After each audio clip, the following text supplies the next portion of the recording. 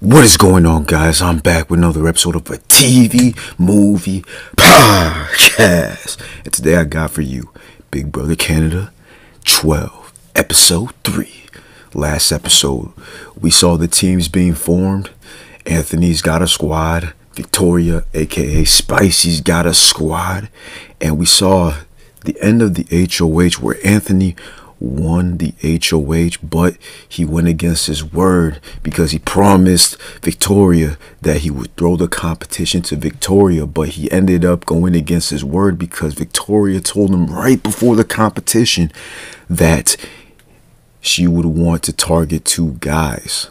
And this went off alarm bells in Anthony's head, realizing that the girls probably have a girls all girls alliance. He decided to take the HOH for himself and we saw Anthony win the HOH. Victoria, who I thought would kind of be feeling back, you know, feeling backstabbed, was actually pretty, you know, happy for Anthony winning the HOH. And so I, I could see Victoria maybe going against this girls, all girls alliance and wanting to work with Anthony instead.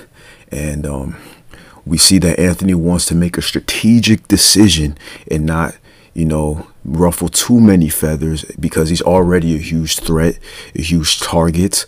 And so Victoria hopes that Anthony puts up two guys and she lets the girls know about this. So we can kind of see Victoria's trying to play both sides. She's going to act like they're act like she's working with Anthony when she's talking with Anthony, making telling Anthony information, but she's also going to go back to the girls and gonna tell the girls what they want to hear and not tell the girls how close she is with Anthony. So this is so we can see Victoria's playing a smart game, kind of. You know, I, I think she's playing both sides, but let's see how this works for her. You know what I'm saying? And so after that, we get to the HOH room and Anthony, you know, gets like a, this TV. And I'm not sure if they usually get TVs, but nobody makes mention of this TV there.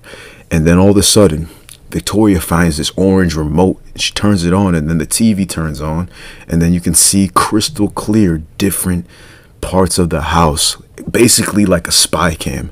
And I'm not. I don't think Big Brother Canada's ever gotten this spy cam before. We know in Big Brother USA, the HOH room has this TV where you can see different rooms of the house and see where people are, and it's like this spy cam.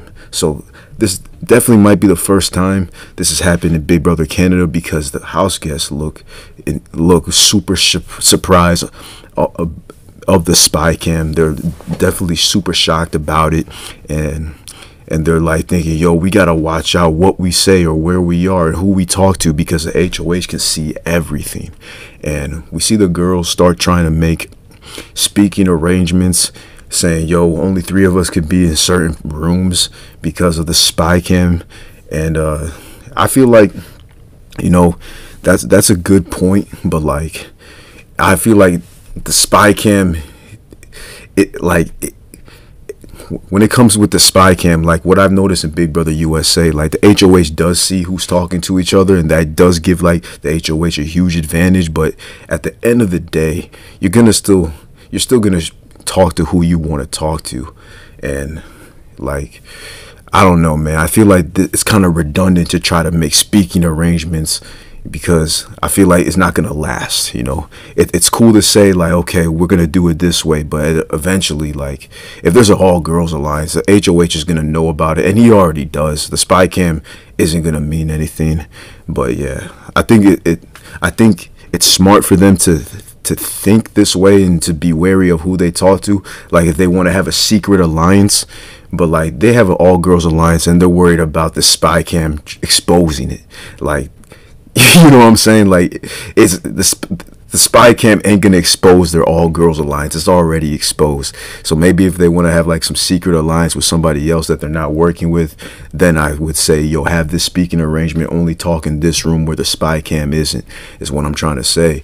And so after that, we see Victoria um, tells Anthony a lot of information. I think it's because of the spy cam. She's worried that somebody will tell Anthony about the All Girls Alliance, and she doesn't want somebody else telling Anthony this. She want because she wants Anthony to trust her, so she tells Anthony that you know she throws somebody under the bus. She doesn't just straight up say, "Yo, there's an all girls alliance and I'm a part of it." She says to Anthony, "Yo."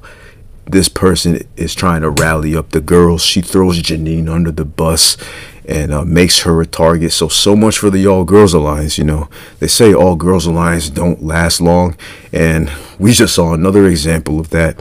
So, Anthony talks to Janine, tries to get some information out of her. He knows that Janine is a super fan. Janine doesn't give him anything, so Anthony's like, "All right, this super fan, I'm wor- I'm worried about her because she's gonna be like once she gets HOH, you know, she's not gonna want to, you know, she's gonna make moves for herself and." Her not saying much information to Anthony, she he he's already realizing that okay, she's gonna be a problem. She's a super fan. She knows not to say too much information to me.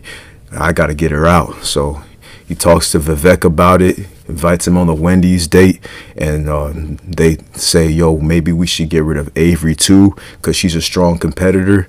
And uh, yeah, you know, Anthony had a lot of cool moments in this episode with a bunch of people because you know he lost a loved one, and so he has this moment with Avery, and they share their experiences losing people close to them.